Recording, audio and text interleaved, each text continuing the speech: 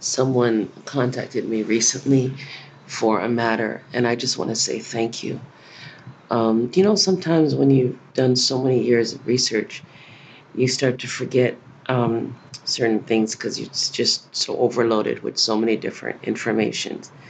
Anyways, I was doing this matter, and I just want to thank all the energies um, globally for reminding me of some of the laws that are created for all of us.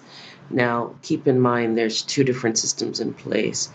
One is a democratic feudal law for those who are not in their correct, proper person status, and those of us who are in our correct status as in the republic.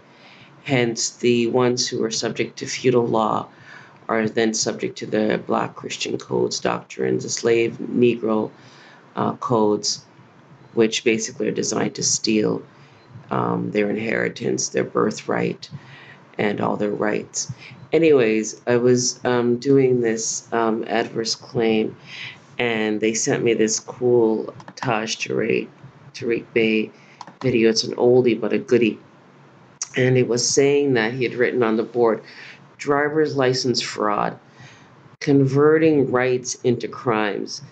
These inquisition operations are and have been instituted under the U.S. U.S. democracy feudal system. That's the U.S. U.S. democracy feudal system as distinguished from the lawful United States Republic. Um, branch, I think it says, um, is allodial in character. And then he goes on to write some other stuff that's not showing up here.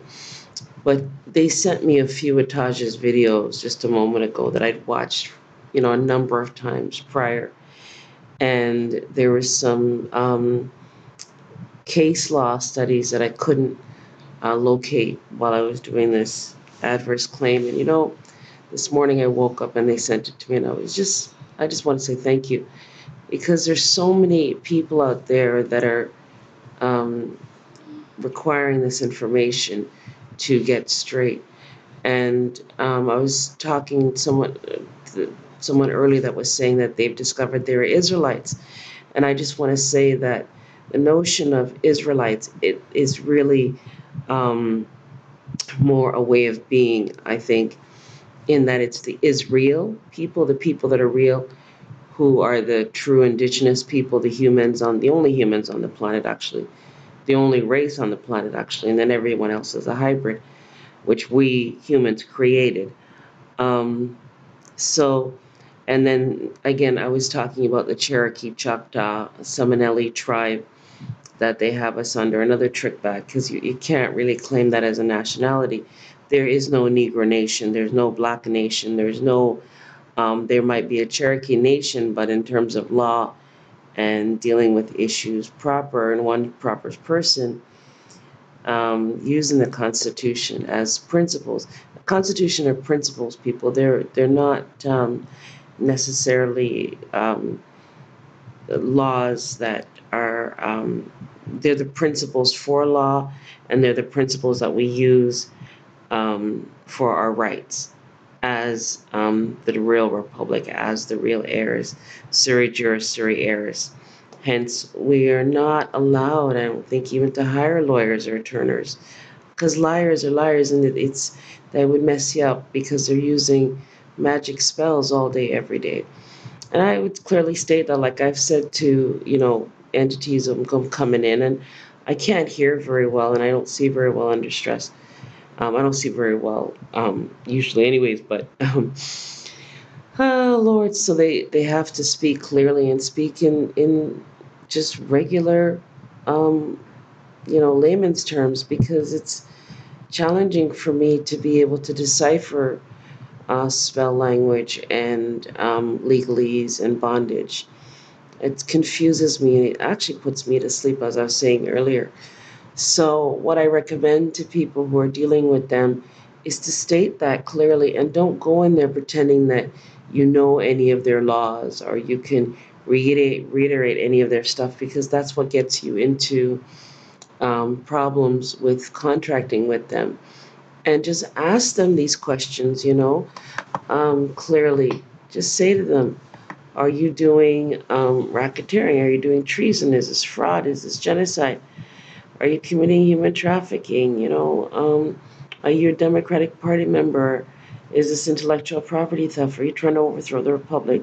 Are you really communist Nazis? Um, where is your, you know, foreign registration statement? Do you have an anti-bribery statement? Do you have a nationality card? Do you have an address? Um, you know, do you have a, a employment identification number? And uh, where is your uh, wet ink signature on these um, instruments and mine?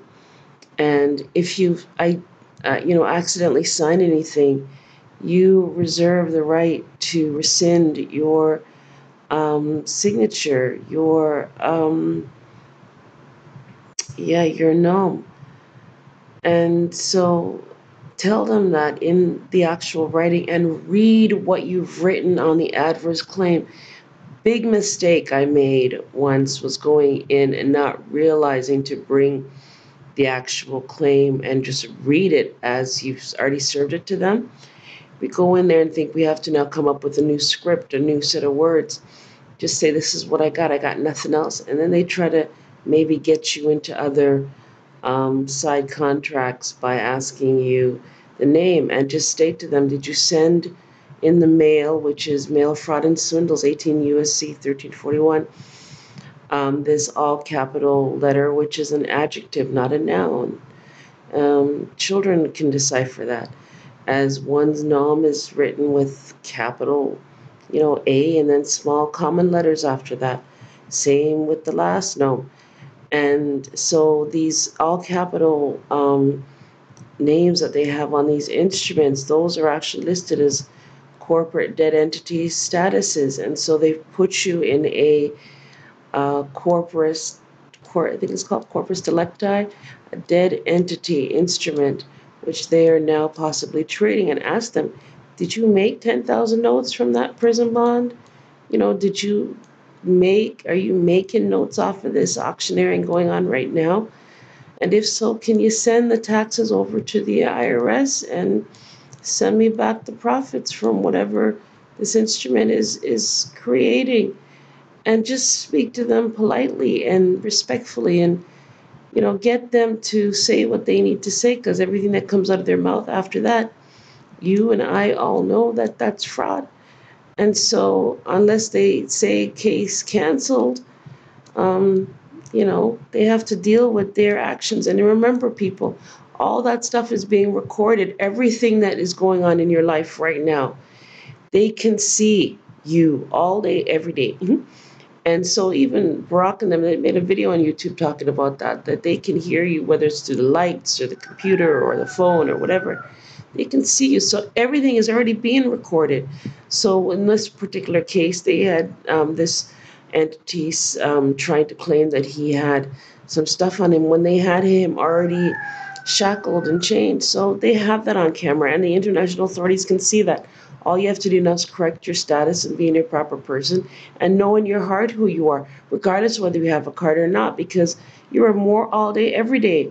ISPO juris, ISPO facto. Um, if you don't have a country that's supporting you and protecting you, you're automatically a Moor if you're an American. America is from Alaska to um, Chile. And so know that, people. That's what's really going on.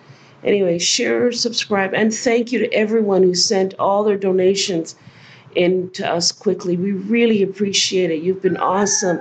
We're really glad to help all of you, and we're trying our best, but in some cases, like this particular one, has taken a little bit more time than we anticipated.